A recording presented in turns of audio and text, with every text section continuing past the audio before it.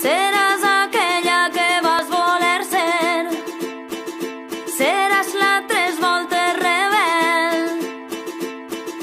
Seràs un puny alçat al vent. I tu sols tu faràs vibrar cinc.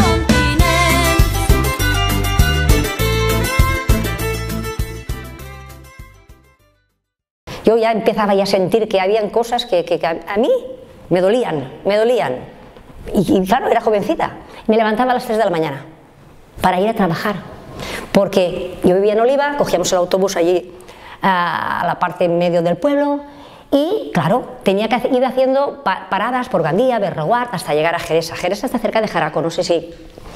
Entonces, eh, ahí estábamos ocho horas haciendo ese trabajo veías como eh, o sea, eh, los puestos en los que las personas estábamos colocadas, pues no eran, veías que eran siempre mojada, los pies, no, unas maneras de que eh, no es como ahora que ya todo ha evolucionado, pero entonces eran muy incómodos los puestos de trabajo y el trato que se te daba y siempre corre, corre, si ibas a los aseos, eh, controlándote como si, o sea, un tiempo para todo. Y llegó un momento que dejé de ir porque no me sentía bien. Y entonces, claro, como yo era la pequeñita de casa, mi padre, como me levantaba tan temprano, le dije, papá, digo, es que yo, entre el frío que hace allí, conforme estamos, esa señora siempre que está chillando, digo, la verdad no me encuentro a gusto. Y mi padre, pues dijo, pues bueno, pues, pues no vayas, a ver si sale alguna otra cosa y, y vas. Claro, yo era persona activa, yo no podía estar así, ayudaba a mi madre en casa, normal, porque mi madre eh, también enfermó y entonces yo pues eh, ser- me dedicaba mucho a lo de, a lo de casa. Entonces, cuando ya eh, las amigas, ay Paqui, pues vete, vente con nosotras a, la fresa, a coger fresas al campo. Ay, pues mira, pues me voy a ir. ¿Por qué? Porque queremos dinerito, nos gusta, en casa hace falta, y ale, me fui a la fresa también. Eso era en el mismo año, porque la peladora era en, en invierno y la fresa era en verano. Por lo tanto, íbamos ocupando ahí todos los espacios, y ale, a la fresa. Madre mía, la fresa. Qué bajitas que estaban las fresas todo el día con el, cuerpo agachado, que se te ponía un dolor aquí en los riñones. Y con, la canatista, con la- una canasta que llevábamos ahí, pam, y ya de rodillas. La- eh, cuando hacía frío, las manitas ahí en la montaña, cuando hacía calor, y de lo mismo. Pero cuando llovía, me sentía yo allí entre los surcos aquellos como un sapo, llenándome de agua. ¿Qué hice? Le me giro y le digo a las compañeras, ¿vosotras vais a permitir estar aquí lloviendo y aguastando este agua? Lo siento mucho, yo no. Haced lo que queráis, pero yo me largo de aquí. Cogí el montante y saltando, que no sé cómo me caí por ahí, porque con las botas llenas de barro y todo, y me largué a una barraca que había allí, que es donde después dejábamos las canastas y todo eso, y me fui para allá. El encargado pues me miró de una, manera, pues os podéis imaginar, de la manera que me, me- me miró el encargado, pero yo le dije, mira, lo siento mucho, dispone de mí lo que quieras, pero yo soy una persona y no voy a estar ahí aguantando el agua. ¿Lo tienes claro? Porque si tú lo tienes claro, bien, y si no lo tienes también, porque la que lo tengo claro soy yo. Al momento, los encargados llamaron a los trabajadores y trabajadoras para que fuesen a ponerse a cubierto. Terminó el día y me fui para casa, que íbamos en un autobús, todas las compañeras. Y viene mi cuñada a casa y me dice, Paqui, me ha dicho el encargado que mañana no vayas a trabajar. No pasa nada, no voy a trabajar. Dice, sí que quiero que sepas que le he dicho el encargado. Si todas hubiéramos hecho lo que mi cuñada en el momento que lo hizo y si hubiésemos salido a todas, seguro que no lo dices que se quede en casa. Pero claro, siempre tiene que haber la primera. Pero yo estaba muy orgullosa. Yo no me consideraba que tenía que estar allí porque no era un animalito de los que están como entre el barro. Entonces me largué, me largué. Llegó el verano y buscaba trabajo, pero no encontré, pues bueno, esperé ya en el año 75, que es ya cuando me incorporo al almacén. Empiezo al almacén a trabajar, en aquello entonces, eh, para hacer esa especie de pegamento que poníamos en los sellitos, en las cajas, que te arromangabas hasta aquí con el frío que hacía, todo ahí, que claro, no era lo mismo las condiciones de trabajo. y ale, yo allí jovencita, pam, pam, pam, pam, pero yo mi interés era de, de enseñarme más, no limitarme a poner los sellitos, quería ser encajadora, quería encajar. Entonces, ¿qué hacía? Que cuando iba a casa, comía, porque ese almacén estaba en Oliva, era García Fuster, eh, bajaba para abajo un poquito antes de la hora de ponernos al, trabajo y había una señora allí que me decía, Paqui, ¿tú te quieres enseñar a encajar? Y digo, por supuesto, yo no me quiero quedar pegando ahí sellos, que, que ahí estoy, vamos, paso a las 6 de la mañana, que empezábamos a trabajar antes en los almacenes. Entonces, esta señora me enseñó, y en un pispás me enseñé yo a poner ahí mis naranjas dentro de la caja. Que antes no tenía nada que ver el encajado con ahora, porque te caían en, un, una especie de caja eh, de varios calibres y tenías que ir buscando las naranjas que eran todas más iguales para hacer la caja y las ibas poniendo. Y estabas de lado, o sea, también incómoda. Era muy incómoda la manera de, de encajar. Vale, Ahí pasé una temporada, la encargada también me venía mirando así, no sé, yo no sé qué a lo mejor eh, intuían de mí por la manera de a veces hablar con las compañeras, ¿no? De decir, pero bueno, ¿por qué permitir esto? ¿Y por qué vais al aseo cuando lo dice la encargada? ¿Por qué no vais al aseo cuando vosotros? Porque es algo biológico de la persona. ¿Cómo voy a estar esperando yo a que me diga que vaya al aseo? Si tengo necesidad, ah, no, no, no, no puedes ir. Ellos paran a las 12 menos 10 y a la tarde a las 5 o 5 y 10. Hay 10 minutos, no sé... pero como, digo, bueno, esto yo no lo entiendo. Y yo sentí mucho. Llegó un momento que tenía necesidad de ir al aseo. Y me fui al aseo.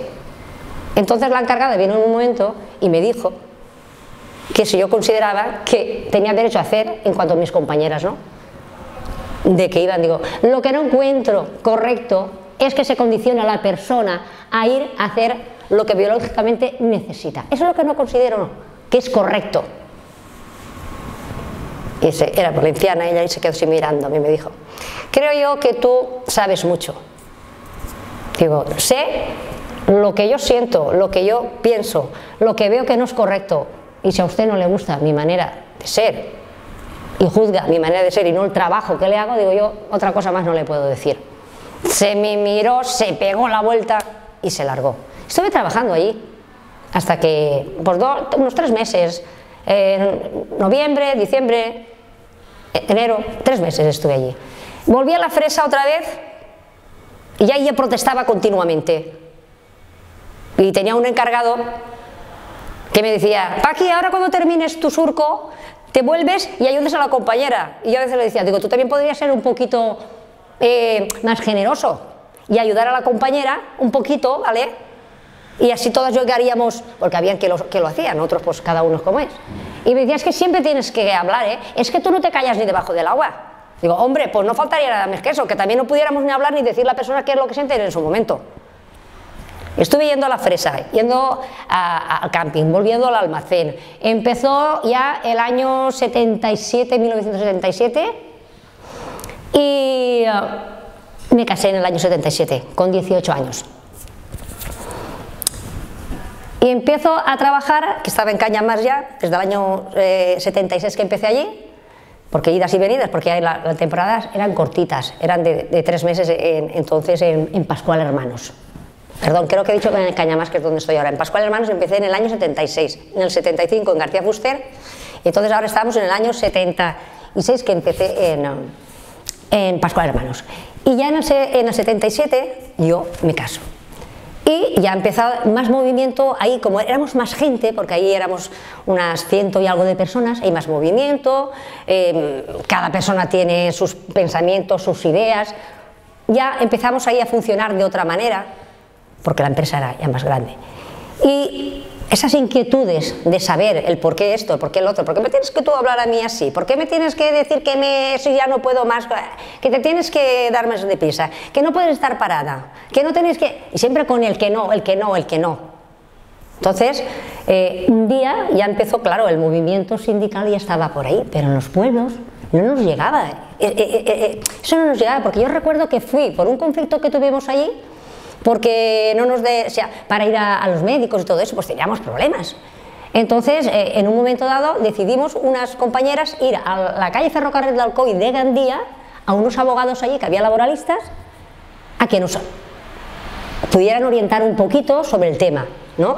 De si teníamos, y claro, pues sí, pues tenéis que llevar justificantes, que os haga el médico, cosas de esas, pero entonces todavía no se pagaban, esas cosas aún no habían llegado a las empresas, porque eh, aún no, no, no, o sea, el sindicato en los pueblos no había llegado, como si ya más en las capitales, en el 78, por ejemplo, en el 79, ya cuando empezamos ahí un poco ya a meternos eh, en, lo que es querer saber el porqué de las cosas y cómo se funciona en un trabajo y hasta dónde el encargado me puede hablar de una manera, me puede hablar de otra, o a la compañera la puede hablar como quiere, faltándole el respeto, todas esas cosas, pues ya llegó el momento de que, sabiendo que ya estaban los sindicatos instalándose, ¿no? ya se habían legalizado, eh, pues llegó un señor a la empresa un día a hacernos una charla.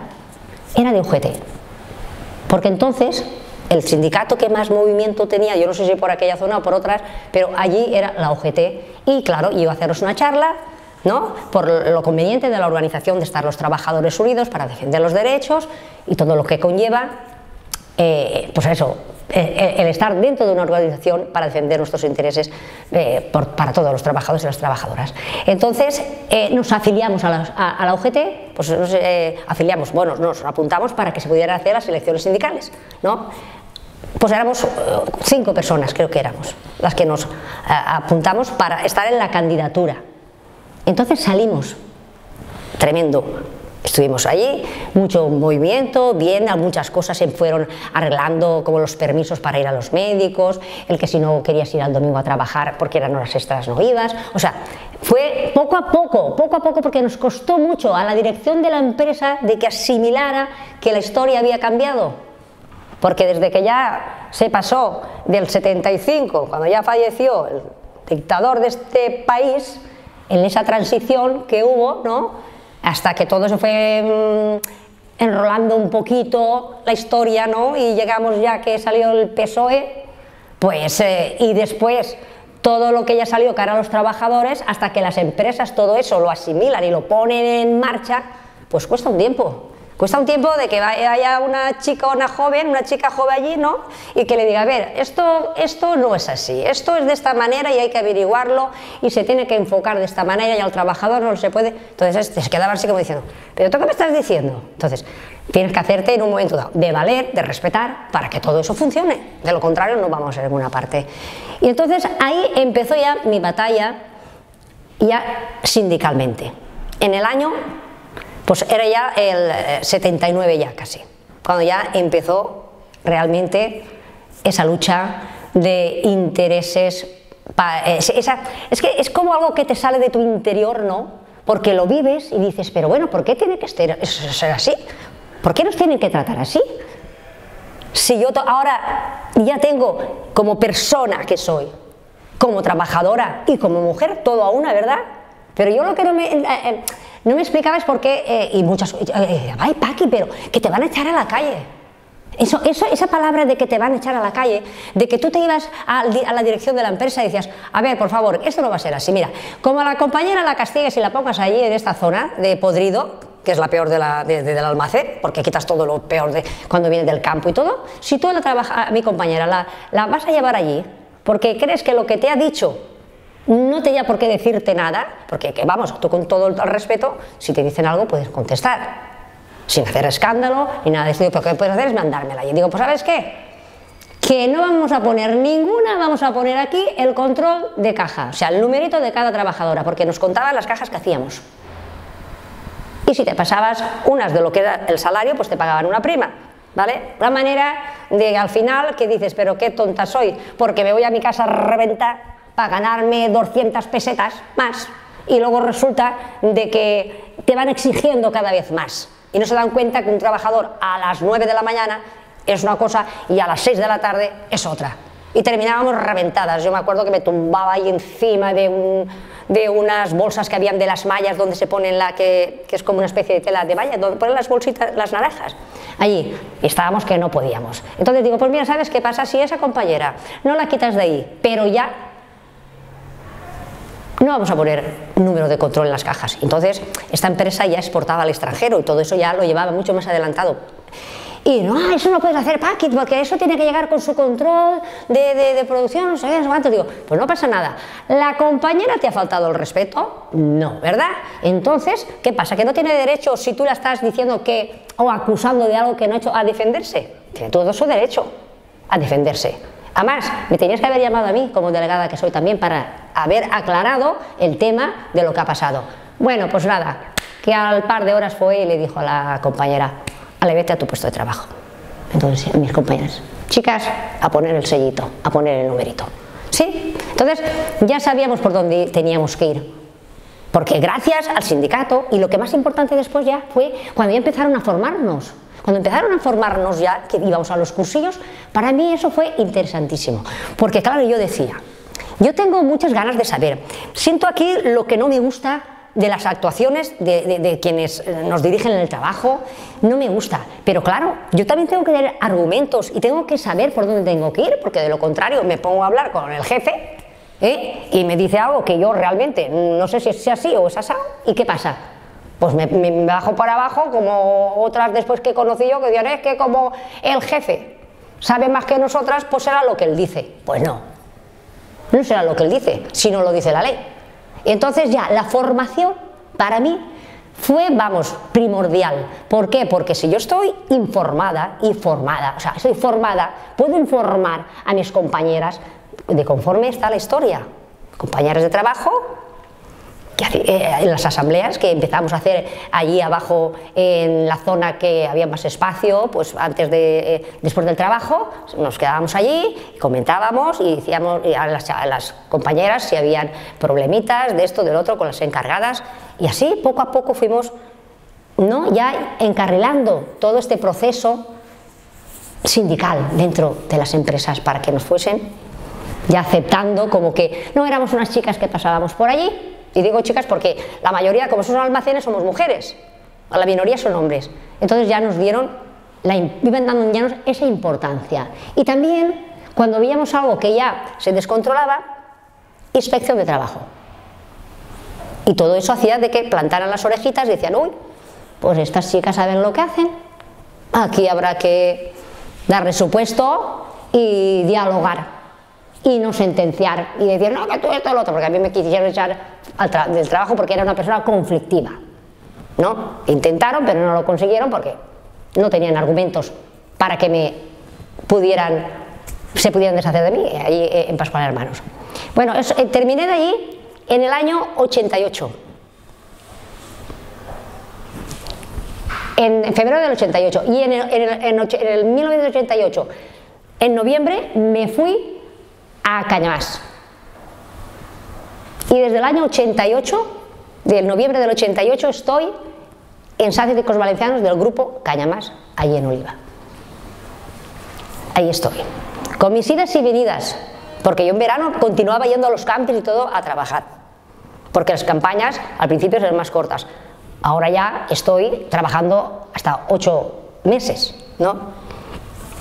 Por lo tanto, eh, en, todo este tiempo he visto a través de, todo mi caminar un montón de cosas y me acuerdo de alguna que cuando estaba en la fresa y había un encargado que me decía eso, que no me callaba ni debajo del agua, cuando yo ya me había casado, yo tengo dos hijas, una que va a hacer 41 años y otra que tiene 36. Eh, me vio que yo me iba con mi hija ahí así toda arrullada en la toca en un autobús, me iba a Gandía al médico con ella. Y este señor, en el autobús, él venía de pego. Y, yo veía que había una persona ya más mayor que me estaba mirando. Y yo también me quedé mirando. Con esa fisonomía me recuerda. Y me dijo, buenos días, dice, ¿eres Paqui Gascón? Porque yo, el Paqui Gascón, en toda la zona de allí de la Sajor se conoce un montón porque la gente me conoce desde siempre en todas las huelgas que hemos estado, desde el año 85, todas las de, este, de Felipe González, eh, Zapatero, Aznar, Rajoy, la última del 2012 que fue descomunal, eh, la Guardia Civil aquí en la espalda y dándote así todo lo que hemos pasado.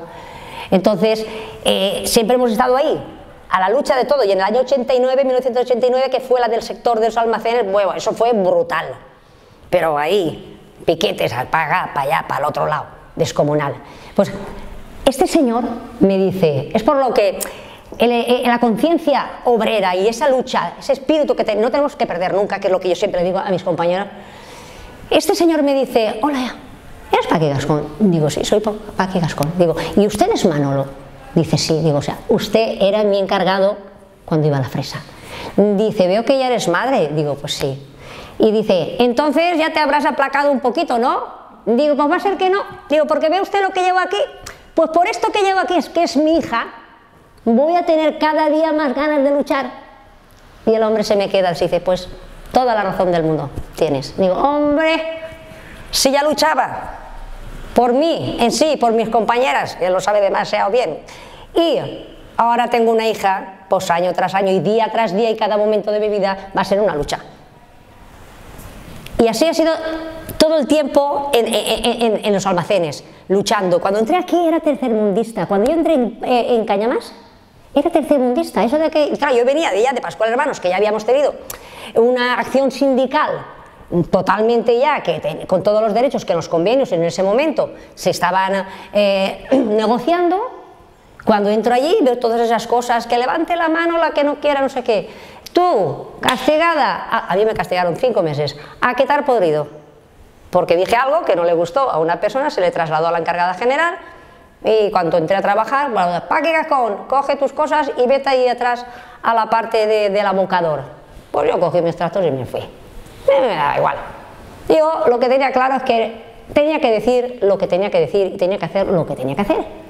Y se acabó, ni más ni menos. Y yo me fui allí. Luego se dieron cuenta algunos que pues, la chica lo que ha dicho es algo que deberíamos hacer todas. Pero yo digo, "Ch, eh, que yo no voy a ir a pedir a nadie que me saque de allí. Yo estoy allí y estoy orgullosa, porque estoy orgullosa de lo que he dicho. Y se acabó la historia. Entonces, había, había todo un grupo, bueno, un grupo, un comité de la UGT, cuando yo entré allí.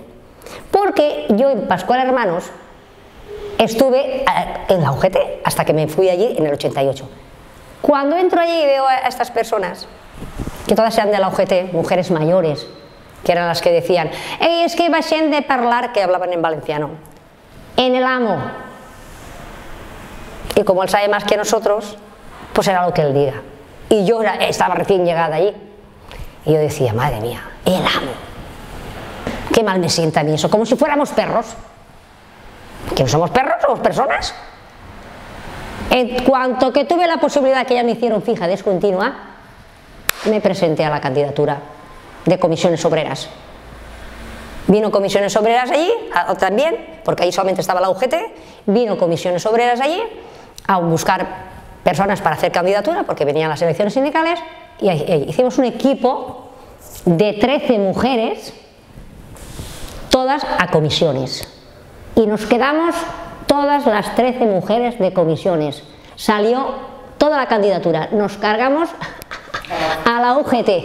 La UGT que empezó en un principio muy bien, pero luego poco a poco, que yo eso ya lo venía viendo en los últimos años en Pascual Hermanos, ¿eh? siempre hablaba primero con nosotros y después con el empresario. Y luego iba al revés. Primero al empresario y luego trataba de, de- de convencernos a nosotros. Y ahí yo ya mm, no me gusta a mí esta manera de funcionar.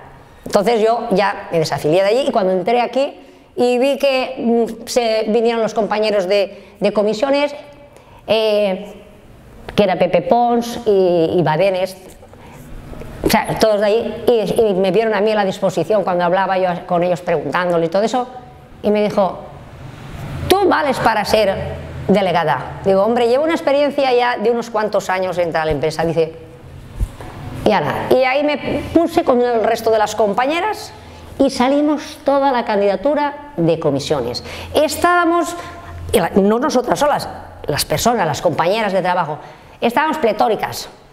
Porque aquí sí o sí tiene que cambiar todo lo que hay, porque es que ya te, ah, tercermundista cuando yo llegué, madre mía, que levante la mano la que se quiera salvar, ahí el jefe, todas en un corro, yo decía, madre mía, madre mía. Y nada, todo el equipo de esas 13 mujeres empezamos a trabajar, empezamos a formarnos, porque el sindicato empezó a darnos tralla, que es lo que corresponde, empezamos a hacer uso de nuestros derechos como delegadas, porque no había ningún hombre, todas éramos mujeres, porque es la mayoría, ¿no? Y formamos un equipo estupendo. Poco a poco fuimos encauzando todo lo que en los convenios, o por ley, porque hay cosas que eh, están en los convenios y otras en el estatuto, ¿no? Y, ahí- y ya sabemos que el convenio es para mejorar, pero la base también está en el estatuto cuando se no lo refiere el convenio. Ahí trabajamos día y noche con la afiliación, con las asambleas, eh, lo importante que era de que todos estuviésemos a una. Y cuando venían las huelgas, pues eh, estas que ya eran generales, la última el 2012 que fue eh, en marzo, creo que fue el 29 de marzo, que fue general, aquella fue, pero la empresa ya, solamente una huelga, la del 89, fue cuando eh, no quiso, que yo entonces estaba eh, aún en Pascual Hermanos, no quiso cerrar, quiso estar allí y se armó la de Dios. Una de tantas de los piquetes que fue para entonces para allá, pues fue compañeras de, otra empresa y yo, todas para allá. Eh, la de Dios. Luego ya, pues se fue ya educando este, esta empresa también en que valía la pena cerrar, preservar a sus, a sus, eh, trabajadores y no entrar en, en, en toda esa revolución que se armó en aquel momento allí. Ya no la empresa desde entonces, desde que entró Comisiones Obreras, ya como comité allí de empresa, ya no ha vuelto nunca a trabajar en ninguna huelga. Siempre ha cerrado puertas, para que no hubiese ningún conflicto, porque en su momento les dieron bastante. Entonces ya no quisieron más. Y la, última del 2012, que nosotras, claro, la empresa estaba cerrada, pero nosotros íbamos de piquetes a otras empresas que tenían abierto. Allí cerca teníamos aquí en que hacen caramelos para todo el mundo, y nos presentamos allí. No vino la Guardia Civil, no vino la Brigada de Gandía. Y van a encerrar, pues que nos encierren. Aquí estamos. Y, y las compañeras de allí, y, y, oh, estamos en la acera, informando a la gente que va entrando. A nadie las, las cogemos ni les estamos violentando, simplemente informando de que lo que están haciendo no es correcto, que tienen que estar defendiendo sus derechos, ¿no? hablándoles bien. Pues ya, era increíble cómo venía la Guardia Civil ¿eh? como si fuésemos, eh, pues, pues, pues mira, estos que vamos eh, aporrando por ahí a la gente, como siempre nos catalogan de lo mismo, de violentos, de esto, del otro, ¿no? Bueno, vale. Y nosotros allí, se me pone un brigada detrás, que vino de Gandía, un hombre ya así más mayor. Estoy en la acera, la acera puedo estar. Yo no, si, si estuviera dentro a lo mejor de su propiedad, porque estaba el dueño de la propiedad allí, pues aún me puede decir, "Eh, esto es mío, tú fuera. Digo, pero estoy en la acera, que es pública, puede estar aquí. Y se me pone detrás en ese momento, y claro, como íbamos moviéndonos, aunque te ibas moviendo, yo estaba siguiendo estando en la acera, y me dio un empujón. Me empujó así, que, casi me caí, porque uno de, mis pies se me fue fuera de la acera, y mira, me revolví con una digo, míreme bien, ¿eh? de arriba abajo, que usted tendrá más altura que yo, pero ni se le ocurra de volverme a tocarme, ni tanto así de mi persona. Se quedó así. Perdone. Estuvo toda la noche este señor allí, pero ya, no se, ya se quitó de detrás de mi persona y los que habían también de mis compañeras. Y no, el DNI, ¿me te voy a dar a ti el DNI? Si estamos haciendo aquí una huelga que es legal, te voy a dar el DNI. Anda, ya te a dar el DNI. Digo, y le digo a una, a una guardia civil que se acerca allí, pues a mí me a dar el el, el- DNI. Digo, ¿ya no te acuerdas de hace unos meses que vosotros estabais reivindicando también vuestros derechos, la Guardia Civil y todo eso? También estábamos ahí los sindicatos. ¿Qué pasa? ¿Ahora ya no nos acordamos de eso? Digo, pues hay que tener memoria. Se dio la media vuelta y se fue. O sea, nos comportamos allí, todas allí. También había compañeros del sindicato, hay una barrera ¿eh? para que las pe- personas no entraran a trabajar sin violentar a nadie. ¿eh? Y al final todos nos aplaudieron porque había muchos trabajadores de la empresa de ahí que tampoco no entraron a trabajar. O sea, que el tema de- de la lucha de los derechos de los trabajadores, la persona que se decide a representarlos, a ser un delegado, tiene que sentirlo aquí muy adentro. Porque si no, no llegas. Hay gente que se cansa por el camino y se deja porque si lo haces bien es porque corresponde. Y si lo haces mal es que no sabes. Porque la gente, las personas, los compañeros a veces son así, ¿no? Pero en el fondo, a la hora de la verdad, valoran que lo que está haciendo la compañera, porque es lo que e- es, tiene mucho valor porque no todos estamos dispuestos a librar esas batallas. Es así. No todos estamos dispuestos a librar esas batallas. Y cuando tú te pones con el megáfono ahí en el comedor de la empresa y hay 300 personas, porque nosotros somos 214 de censo de IVA.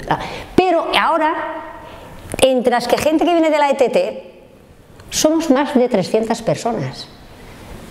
Y cuando se pone a hacer una asamblea, ahora con el COVID no la podemos hacer, pero anteriormente se, se llenaba hasta la bandera. Y, la emoción que sientes cuando tú trasladas a tus compañeros los logros que estás consiguiendo, a veces también estás cabreada porque no es lo que no es tan fácil conseguir y claro, hay gente que cuando está allí lo ve muy bien, cuando entra cuando algunas ya han entrado a ser delegadas, porque hemos ido relevando un poco eh, el comité, porque unas ya se van porque se jubilan, otras porque se cansan, pues no es tan fácil ser un delegado, ¿eh? no es tan fácil, es mucha responsabilidad. Porque tenemos muy claro una cosa, que si un delegado no tiene a la parte de atrás a los trabajadores ahí de muro, ¿eh? te dan una patada y te caes al suelo. Sin embargo, si tienes toda la fuerza de atrás, eso es lo que te hace de seguir adelante, el ver que tus compañeros están ahí, día tras día, y que vienen y te preguntan y te dicen. Y tú contestas, y qué satisfacción de haber ayudado al compañero, de informarle de que ese problema se solucione, cuando han habido despidos, cuando se hacían horas extras y solamente querían que fuesen este grupo, nosotros no, este, pero ¿por qué tiene que ir este? Si la ley dice que para hacer las horas extras se ofrece y el trabajador cuando puede las hace. ¿Por qué? ¿Porque te gustan más? ¿Porque es la María, la Pepe y la Juana? Pues no. Es de esta manera, sí o sí, porque la ley lo dice. Se acabaron las historias de preferencias. Las preferencias y las amistades, los trabajos, en la calle. Allí todos somos trabajadores con los mismos derechos y no tenemos por qué ser unos más guapos y otros más feos para los encargados, los mandos intermedios, que a veces eso también tiene mucha importancia, ¿eh? que a veces los de arriba no se enteran y los de abajo quieren ellos hacer todo el, el tinglao. Y eso también pues, nos costó mucho a los encargados principales que, supieran que somos, éramos personas elegidas con toda nuestra legalidad de poder decirles esto no está bien, no ahí, claro, en la zona de producción donde corresponda y si había que plantar alguna denuncia porque hay un encargado o encargada que no hace las cosas bien, pues claro, tenía que ser a través de ahí. Entonces evolucionamos un montón ahí en esta empresa, ¿eh? un montón. Después en el sindicato quisieron en su momento mm, que yo formara parte, o sea, trabajar en el sindicato. Pero yo tenía algo muy claro, es que me sentía muy mal. Me sentía muy mal porque yo tantos años dentro de la empresa, en el campo de batalla, que siempre digo yo, porque los primeros golpes, las primeras consecuencias, los primeros reproches y todas las consecuencias son los que estamos ahí en la empresa. Yo decía, pues mira, que os agradezco mucho que contéis conmigo para que eh, trabaje con vosotros y vaya a visitar a las empresas, las que me, hubieran concedido en su momento, ¿no? tanto cuando éramos la agroalimentaria como ahora que somos industria.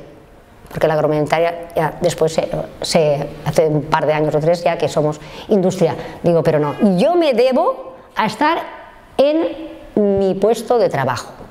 Porque pienso que si todas las personas que, temo, que tenemos ese impulso, ese ímpetu, esas maneras de seguridad, que cuando tú te mueves sabes lo que estás haciendo, que cuando vas a, las oficinas para hablar con el de recursos humanos, te sientes, si te hablan que no te hablan bien, en, en vez de achicarte, tú te sientes más fuerte. Si todas las personas que somos así nos vamos a trabajar al sindicato, las empresas pues se quedarían un poco vacías, porque no hay un equipo de personas, pero todas no tienen la misma decisión ni la misma seguridad a la hora de defender las cosas. Cada una tiene eh, eh, su espacio, ¿no? de las delegadas, esta se dedica a esto, esta se dedica al otro, pero hay una persona siempre que es como que arrastra a las demás.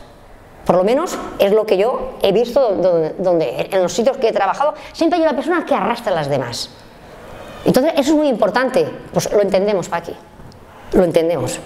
Y siempre he querido estar en, mi puesto de trabajo, en la empresa, a disposición del sindicato cuando se ha hecho falta, pero yo siempre me ha gustado estar en la empresa. Me siento muy satisfecha con los trabajadores, haciendo mi trabajo, para acá, para allá, papeles, lo que sea, pero me siento muy feliz, muy realizada en, todo eso. Y luego eh, todo eh, lo que es referente a la mujer, a, los, a, los, a, los jornals de la dona, ahí en el Teularet, que hemos ido, a muchos. y han venido las compañeras, que ahora los nombres, ¿ves? No los recuerdo, venían a hablarnos de toda su lucha como mujeres desde siempre, porque son personas más mayores que yo y nos contaban también sus historias.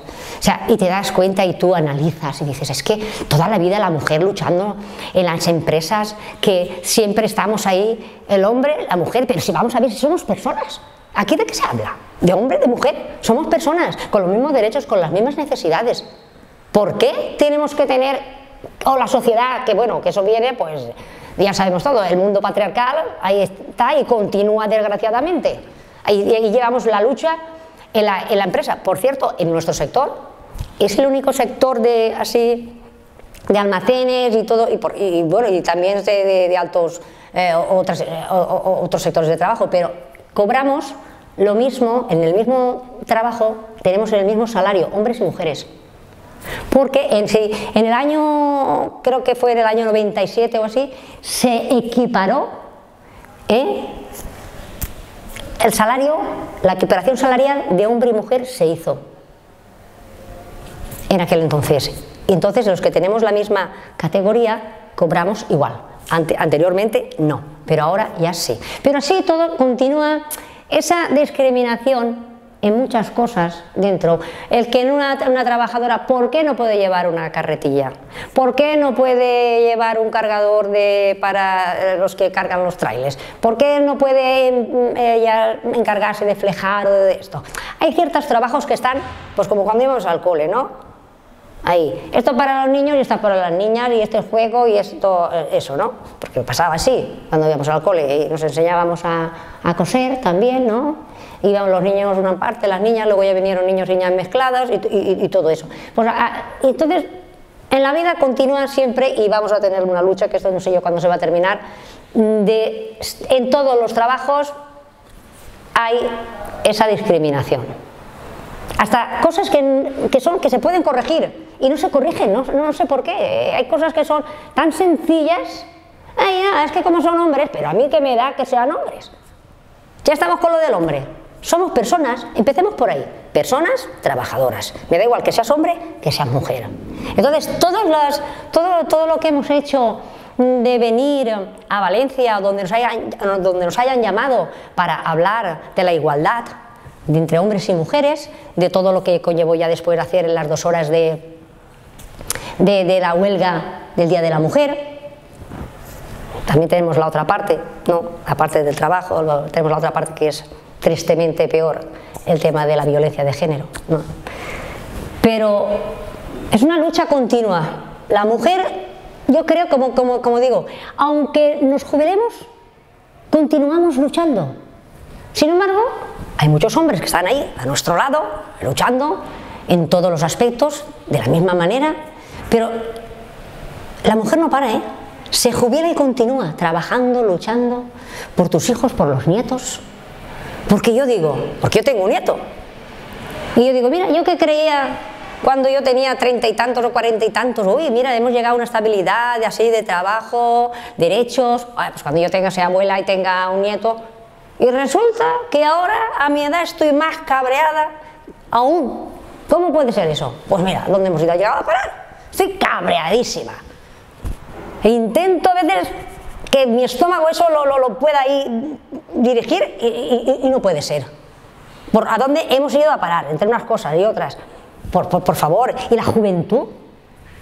¿No nos ha caído del cielo todo lo que hemos batallado, que ya nos han quitado la mitad, porque con, las, cuando, con, con, todo esto que nos dieron de la reforma laboral, Zapatero, el Rajoy, el Felipe González que empezaron, con todo el desempleo, recortes por aquí, repartes para allá, y tú te pones a pensar, cuando yo me subía a la valla de allí de un almacén diciéndoles esquiroles, diciéndoles ratas salir del nido, esto, por favor, ¿a dónde hemos llegado? ¿Que, no, que aquí nadie nos ha dado nada?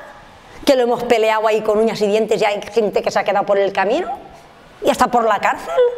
Eh, tenemos ahora una parte de juventud buena, pero tenemos otra parte. Y no tan juventud, ¿eh? No tan juventud. Algunos que ya son también madres de familia, aunque sean más jóvenes, y viven en el mundo de Yupi. No, hombre, hay que ser realistas y sentarte eh, y estar con los pies en el suelo y ver todo lo que tú como mujer trabajadora y persona, sobre todo que eres una persona digna de respeto, ahí, a luchar, a, como digo yo, aquí que estás siempre con la espada al alto. Siempre, porque en cuanto que te descuidas ya se subido la chepa y ya te están dando otra vez por todos los lados. O sea, aquí sí o sí hay que estar vigilante día y noche. Y en el sindicato también pasa igual, ¿eh? porque también ¿eh? la mujer en el sindicato tampoco no está donde le corresponde. No está tampoco donde le corresponde, porque eso lo hemos hablado cuando hay reuniones en la ejecutiva, porque yo pertenezco también a la ejecutiva de la, de la, de la Unión Intercomarcal, la Ribera la Safor, y en el Consejo de, de, Industria, o sea, de la Federación de Industria, también soy miembro del, del Consejo. Entonces, lo hablamos también. siempre estamos diciendo, no, no, aquí dentro, empecemos también por aquí dentro, ¿vale? A ver los cargos, a ver esto. O sea que hay, hay unos vacíos por ahí que tenemos que rellenar por todos los lados. Y yo soy muy crítica con el sindicato también, porque quisieron echarme como persona no grata. Sí, porque se hizo una vez algo que no se debería haber hecho. Mira, justamente, pues era el Día de la Mujer Trabajadora. Entonces no se hacían las huelgas. Porque las huelgas, que hace dos años que las estamos haciendo, ¿no? Porque el año pasado eh, ya no se hizo.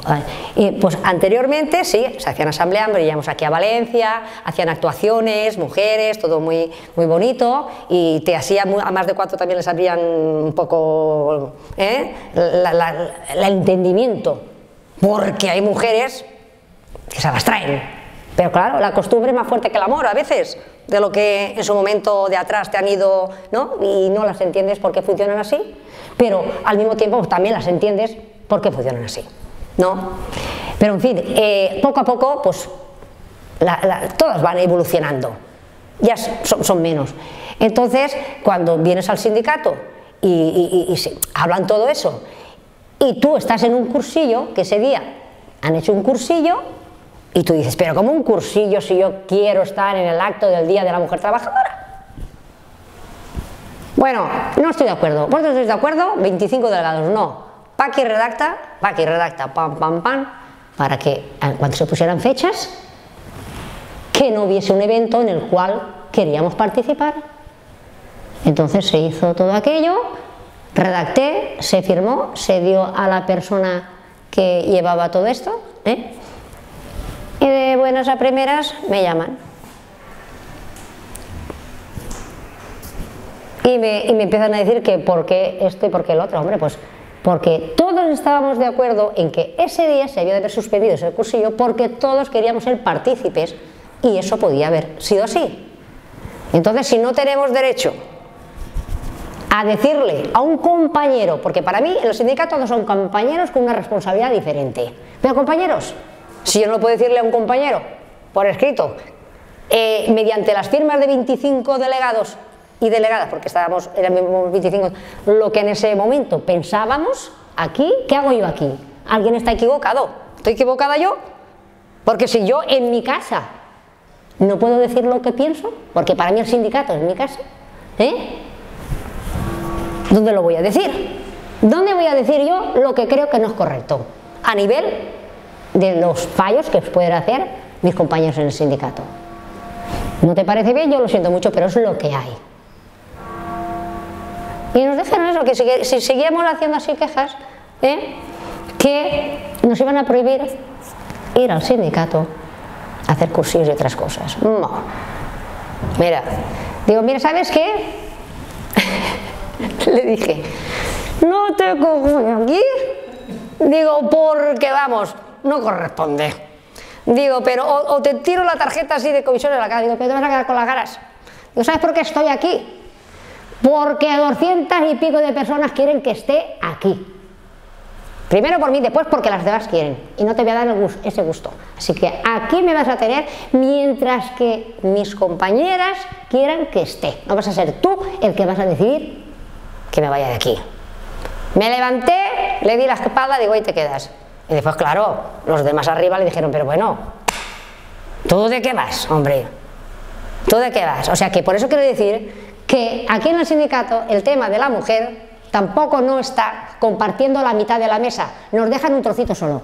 Porque dicen, no, no, es que quiero un espacio, perdona, quiero la mitad. No me conformo con un espacio, como dijeron, tú ahí, no, yo quiero la mitad de la mesa. Me vas a dar tú a mí lo que tú quieras. Y así, entonces, cuando entramos en el sindicato, nosotros, gente así ya más joven, los hombres, por lo que decimos, no, el sindicato antes, el sindicato ahora, yo ahora ya lo, de cuando yo entré, ¿no? Ahora, desde el año 97, ahora yo he visto que cuando entramos, como ya éramos mmm, chicas un poquito así ya más, eh, ay, que se creían que solamente era del sindicato, pero iban a ser mujeres, estas que los hombres las miraban un poco así, no sé de qué manera, ¿eh? Esta... no, cuando ya entramos así, de, ah, pues estas chicas, uy, qué chicas más monas y más guapas por aquí, mira, ahora cómo está cambiando esto, ya nos vieron que teníamos, como las demás que estaban, pero ya que a, cada vez se iba incorporando más mujeres, ¿eh? y nos lo decíamos, eh, ni te pases tanto así, ¿eh? que tú y yo aquí y en todas partes somos iguales, tú no eres más que yo. Seas hombre, ni que lo que tú quieras quererte que eres tú, ¿vale? Y es verdad, luego en los cursillos que íbamos chicos y chicas, ¿no? mujeres, hombres, eh, se han dado cuenta muchos, porque siempre hay, hay algunos un poco yo gallitos, que ni tanto, tú aquí, allí y en todas partes donde quieras, eres lo mismo que yo. Ni más ni menos, con las mismas necesidades, con las mismas ambiciones, con las mismas inquietudes y con todo lo que tú quieras, pero más que nosotras, por ser mujeres, tienes claro que va a ser que no. Entonces, tenemos el equipo que nosotros formamos somos mujeres trabajadoras, sindicalistas, reivindicativas, que estamos al 100% en el apoyo a la mujer trabajadora,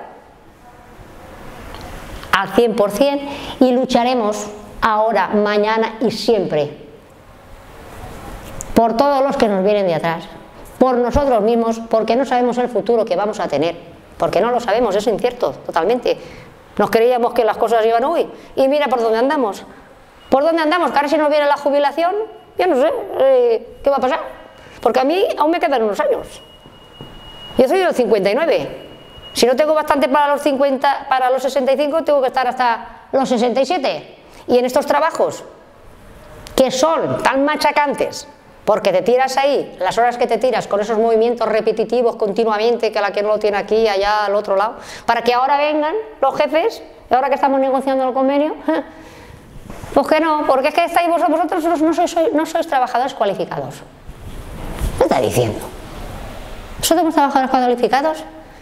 Pues a ver quién, a ver quién es el que está cogiendo el producto y valora si este es para acá, este es para allá. O sea, no somos cualificados, pero ¿qué nos estáis contando? Es una manera como diciendo no te mereces más porque no eres cualificado. Como no eres cualificado, tú eres, vosotros sois pues de un nivel mmm, bajo.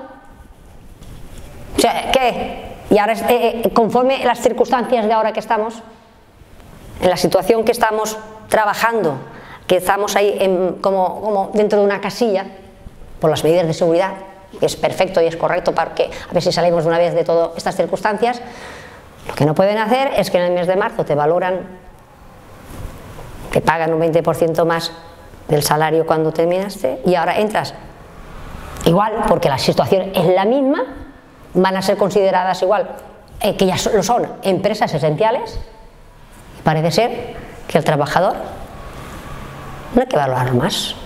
Aquello fue un momento, pero ahora como la cosa sigue, ya, ¿para qué? Ahora al contrario, ¿ahora qué quieren? ¿Ahora quieren que trabajemos 10 horas al día? Entonces, ¿de qué hablamos? De la conciliación con la familia, se la cargan por mí misma. Soy una persona que, aunque sea joven o sea más mayor, ¿qué pasa? Mis condiciones de salud no son las mismas para mucha gente. Y necesitamos nuestro tiempo como personas Necesitamos nuestro tiempo para la familia, nuestros padres, eh, hijos, nietos, si hay algún enfermo. Y ahora, ahora, en el año ya casi 2021, vienen a que nos vayamos, ¿cuánto? ¿50 años para atrás? que ya no sé, porque 10 horas, de lunes a domingo. De lunes a domingo. ¿Pero aquí de qué estamos hablando? Hablamos de personas ¿O de qué estamos hablando? O hablamos de herramientas, que eso es lo que somos. Herramientas. En- en un- estamos en un sector que ya de por sí por naturaleza es totalmente ¿eh? muy variable. ¿Y qué pasa? A las mujeres, a las mujeres, o sea, la mujer que es casi el 100% de mano de obra en este sector, ahora me vas a decir a mí que yo tengo que estar trabajando 10 horas diarias. Entonces, ¿de qué vamos? Toda una contrariedad. Tenemos una ley de la conciliación, ¿no? Para que eh, podamos conciliar con la familia. Hay una ley que prohíbe hacer más horas extras de lo que corresponde porque quiere que se dé más trabajo a más personas. Se está hablando de la salud en el trabajo. Tanta historia, la ley de, de- de prevención de riesgos, y, y- y resulta que ahora vosotros llegáis aquí y dices, se acabó, haber estado demasiado bien. Ahora queremos esto y lo otro. Pues no, no, ya hemos hecho, nuestras asambleas a los trabajadores para que sepan eh, sobre en videoconferencia, claro, porque puede ser de otra manera, para que supiesen todo lo que está pasando y tenemos de momento el apoyo de que no vamos a consentir un convenio retrógrado y sobre todo en contra de la mujer trabajadora, porque es restarte toda la libertad como persona que eres y de, poner de un tiempo y de si tienes que hacerte cargo de los tuyos, de tus hijos o de cualquier familiar que lo necesite. No vamos a consentir eso, no estamos dispuestas a consentir eso y no debemos consentirlo. Y el trabajo nos hace falta a todos, pero no podemos estar cada convenio que hemos venido haciendo, yo estoy, este es el tercer convenio que en lo que yo estoy, un poquito más para allá, un poquito más para allá. No, pues ¿dónde estamos llegando? Pues mira, como es eh, como si te dan un tortazo así un poquito, poco a poco, parece que no te duele tanto, como si te cogen una paliza de repente, ¡bum! ¡Uy, Jari, me han dejado matado! Cuando te van dando así poquito a poquito, parece que, bueno, pues esto es lo que han hecho. Como nos han dado poco a poco, han ido quitando, pues, pues ahora otro poco más. Se están acostumbrando, como se están acostumbrando a que les quitemos, pues ya seguramente que van a decir, ¡ey! Como mucha gente que dice, ¿y qué, ten- y qué tenemos que hacer? Pues que tenemos que hacer, luchar, decir que no. Hay que hacer huel- huelga, se hace huelga. Todos a uno. Es de la única manera que podremos conseguir que se nos vuelva a respetar, se nos vuelva a valorar. Y si estamos por la labor de volver hacia atrás y que nos están comparando con Etiopía, con el Marruecos y con esos países donde cobran 8 euros una jornada de trabajo, ¿estáis dispuestas a eso? No, ¿verdad que no? Pues entonces ya sabéis lo que corresponde. Todos a una a luchar y a defender lo nuestro, nuestros intereses, nuestros derechos y nuestra dignidad porque si tú no te respetas, difícilmente te van a respetar. Esa es mi historia de trabajo desde el año 75 hasta lo presente. Y lo que me queda, pero ahí voy a estar firme a lo que venga. Eh, en la vida laboral y todo lo sindical, en lo que es ya mi familia, ¿no? mis hijos y, y mi esposo, la verdad es que muy bien. Porque él ya sabía cómo funcionaba yo, qué clase de persona tenía a su lado. Una persona luchadora y que si tenía que irme a asambleas, huelgas, llegar tarde a casa porque tengo una reunión, nunca, nunca, ni a día de hoy, o sea, está orgulloso. Está orgulloso de ver que yo hago una labor en la cual yo me siento realizada. Eh, yo tenía a mi madre que era inválida y él se ocupaba de hacer la cena, de atenderla. Cuando mis hijas ya eran más mayor, también le ayudaban, ¿no? Pero él siempre ha estado ahí apoyándome, siempre. Y es un hombre que se emociona enseguida. Cuando alguien le dice, porque graban las, las asambleas que yo he hecho, o- alguien le dice, Jolines, es que tienes una mujer que es que a veces cuenta unas cosas que como que te, ¿no? te, te hace sentir por dentro esa cosilla y, y se le llenan los ojos de lágrimas. O sea, es una persona, él ha tenido empresa de construcción, una empresa mediana. Llegó el 2008 y ya sabemos lo que sucedió. Se terminó, se quedó en el camino y estado 12 años sin trabajar. Ahora se ha jubilado. Una pensión mínima, porque cuando hay carencia de 12 años de trabajo ya sabemos lo que pasa. se va todo hacia abajo. Pero es una persona que siempre ha estado a mi lado. En casa las tareas estaban repartidas. El primero que llegaba era el que se ponía. Iba, siempre ha ido a la compra, siempre ha hecho la comida sábados, domingos y festivos, porque entonces yo, como era más joven, trabajaba más horas. ¿Por qué? Porque yo sabía que cuando yo iba a mi casa, tenía, mi madre estaba servida, yo tenía mi comida, por la noche llegaba y a veces llegaba tan cansada que aunque me tenía en la cena, en ese momento decía, qué desagradecida soy yo en ese momento, porque llegaba y me decía, Paqui, venga cariño, que ya tienes aquí la, cena. Y yo decía, ay Vicente, lo siento mucho, estoy tan cansada que me voy a hacer un vaso de leche y me voy a acostar. ¿Sabes? Y yo decía, ay, qué, qué desagradecida, ¿no? Después, pero una persona que siempre ha estado a mi lado, que sigue estando a mi lado, que está orgullosa, mis hijas igual, y, yo tengo el convencimiento, ya no porque diga, oh, que no, porque la gente me lo demuestra, porque la gente cada año, cada vez que me, me, presento a las elecciones, me tienen puesta como primera delegada la más votada, eso me enorgullece. Pero mi familia, mi familia, igual que mi madre, cuando vivía, porque ya no tengo ni padre ni madre hace muchísimos años, eh, estaban contentos de ver mi labor. Mis hermanos, que antes era la más pequeña en casa y sigo siendo la, pero me ven como si fuese la mayor por la, mi disposición, por mi manera de hacer, por mi manera de arropar a la familia, de vamos a comer, vamos a cenar, siempre que se ha podido, ahora lo tenemos un poco crudo, ¿no? Entonces, eh, el ver que me casé joven, ¿no? Eh, que no tenía casa, vivía de alquiler, que pronto fui madre, a los 15, 16 meses tuve a mi hija. Todo eso, eh, cuando se para la persona que te conoce y dice, ¿cómo esta chavala entonces ha podido ahí, ella sola, pam, pam, pam, en lo que es eh, el trabajo y, este, y, esto que, me, que me, yo me involucré voluntariamente porque lo sentía así, de estar eh, en esta acción sindical. Pues a mí si no hubiese tenido el soporte de lo que es mi pareja, yo no hubiese estado a lo mejor con él, porque tenía muy claro y lo dejé desde un principio. El sindicato para mí y, lo que yo hago es como una segunda familia. Yo lo siento así. O sea, hay gente que dice, en el sindicato, persona, el sindicato que no, perdona, en el sindicato igual que cualquier otra empresa o organización, hay personas buenas y personas que no deben estar. Pero yo no voy a calificar una organización que representa a los trabajadores ¿eh? por una persona que haya que no correspondería estar. Con su tiempo eso, igual esas personas desaparecen, digo, pero yo no voy a catalogar como, como hemos oído en algún momento por ahí, no, no.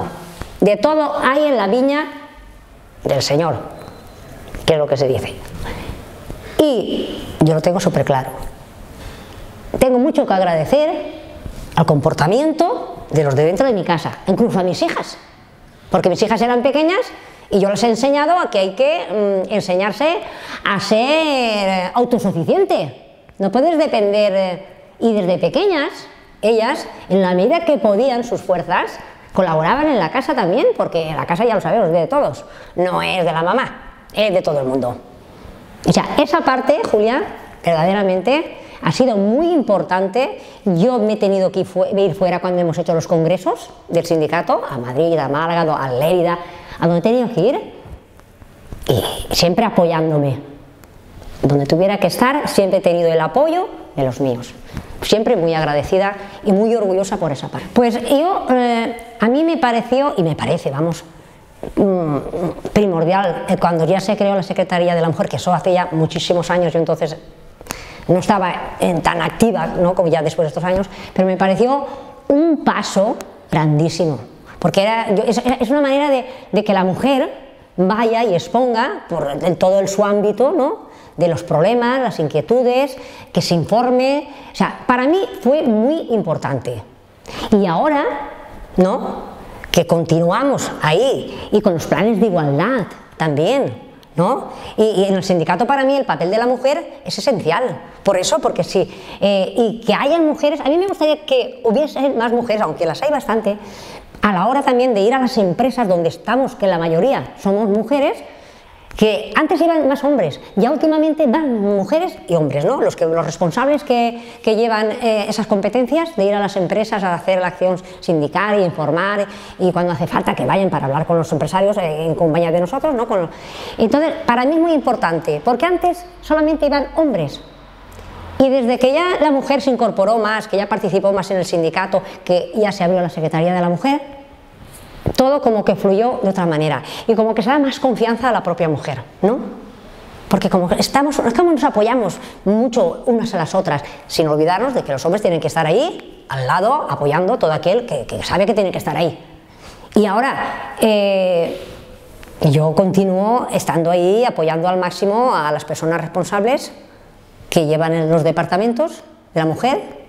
¿Eh? Y ojalá yo estuviese aquí en Valencia, porque si yo estuviese aquí en Valencia participaría cuando veo todo lo que manda Cándida y, la que tenemos de la Federación también de Industria de, Igualdad, que ahora no es una chica que también es, lleva una coleta siempre, ahora no me acuerdo el nombre de ella, porque la tenemos también, eh, cuando mandan todos los movimientos que hay aquí, yo digo, es que yo tendría que vivir en Valencia porque yo acompañaría a todas las compañeras a, todos esos eventos de reivindicación. Porque e, es que eso tiene que, ir creciendo, creciendo y, haciéndose fuerte. No nos podemos despistar. Ni un minuto. Yo estoy orgullosísima desde que se creó en su momento y, y, ahora que continuamos con todo el tema de la violencia de género, que eso es terrible, que nunca hay bastantes fuerzas para, para poder tirar hacia adelante, nunca es suficiente, nunca. Tenemos una batalla terrible entre eso que a mí, me, me, me, vamos, las entrañas que decía mi madre, se me revuelven las entrañas cada día que oímos todas esas noticias en contra de, la fatalidad de las mujeres, porque no solo las que matan, las que pegan palizas y todas eso, eso porque si te contaran realmente, eso es un, cáncer, vamos, que irremediable, que, yo no sé esto dónde va a ir a parar, pero la lucha, la lucha no debe acabar nunca. Las mujeres no podemos nunca bajar la guardia, nunca, y ayudar sobre todo a todas aquellas que están ahí, eh, eh, eh, que como, decimos, es que mm, hasta que no ves la, luz no te das cuenta que estás en la oscuridad. Estás en la oscuridad, pero cuando ves una luz dices, ojo, estaba oscura, no me daba cuenta. Pero hasta llegar a ver esa luz ¿Cuánto apoyo hay que tener? Tanto en los trabajos y ya la parte esta de la violencia de género, porque en el trabajo también tenemos lo del acoso. ¿Eh? También tenemos el acoso. Y los planes de igualdad no en todas las empresas funcionan, se hacen por protocolo y ahí se quedan. Nosotros aquí el año, eh, el año pasado se, ya nos reunimos con la persona responsable de, por parte del sindicato y una otra, compañera delegada mía, que es la secretaria del comité, eh, y las personas que vienen por parte de la empresa para hacer el plan de igualdad. Nos reunimos, pero vino lo del COVID y se quedó aparcado. Pero que son temas muy, vamos, que se tienen que coger, que se tienen que estar continuamente eh, evaluándolos, eh, porque a veces que se hace una cosa no funciona, hay que volver otra vez a ver realmente qué es lo donde se falla, que se puede mejorar, pero todo lo que es referente al tema de la mujer, en, eh, en el concepto y aspectos que sean y circunstancias, eso hay que continuar sí o sí batallándolo, pero vamos, mientras que nos quede un aliento de vida, al 100% o al mil por mil, como lo queramos llamar, me da lo mismo en el campo, en la ciudad, en las empresas y donde quiera que haya una mujer trabajando, porque hay quien cree que mm, la mujer, es que hemos descubierto a la mujer cuando ha sido sindicalista. ¿Qué me estás diciendo? Había en el año 16, en el 2016, eh, hubo una asamblea en comisiones obreras. Era también por lo del convenio. Y yo me puse a hablar desde el asiento que ocupaba, pero claro, y eh, hasta con micrófono, como tengo una voz pequeñita, pues los que estaban en la mesa central, los que componían la mesa, me mandaron bajar, me senté allí, que tenía buen micrófono, y empecé a hablar. Había uno que me daba por abajo de la, de la mesa para que ya esto cortase. Y yo le hacía, sí, déjame tranquila que tengo que decir lo que tengo que decir. Empecé a hablar de todo el tema de las mujeres, y los almacenes, esto, lo otro, claro, estábamos hablando de, todo del sector. Y en su momento, cuando esa persona dijo que habían descubierto a la mujer como que tenía así mucho empuje a, través de, la función sindical, pues yo le dije, digo, me giré y le digo, mira, y ahora voy a decir algo porque no me ha gustado nada lo que, me has, lo que has dicho. Digo, no para mí, para todas las que estábamos aquí, que entiendas y sepas que la mujer no la has descubierto ni se descubre a través de los sindicatos, porque la mujer que tiene coraje, ¿vale? Para hacer lo que tenga que hacer, la vas a encontrar en la casa, aunque no esté trabajando fuera, porque la mujer elige en un momento dado de quedarse en su casa. No se le puede decir, ay, es que tú te quedas en tu casa, qué cómoda, que no. No hay nunca que a ninguna mujer lo que ella elija, todo tiene su valor y su reconocimiento. Y le dice, así que no digas, ay, es que he descubierto yo ahora las mujeres de que tienen ímpetu y garra y, y coraje a través de las sindicalistas. No, perdona, no. Una mujer da igual que esté en casa, en el campo, en la empresa, en la ciudad, en una chabola. ¿Vale? O sea que las mujeres somos ahí guerreras y toda la vida se ha luchado y se luchará. El, hombre a lo mejor, es que todos lo sabemos, en el campo de batalla, pero la mujer se las pasaba canutas ¿eh? con la familia, los hijos, y si eres pobre, no te digo nada. Todas las miserias que en sus momentos nuestros antepasados han pasado y desgraciadamente hoy en día, a nivel mundial, ahí estamos, con las guerras, intereses de los grandes y mientras muriendo las personas y sin ningún valor de que esas personas están ahí y tienen derecho a la vida. Tristemente es así.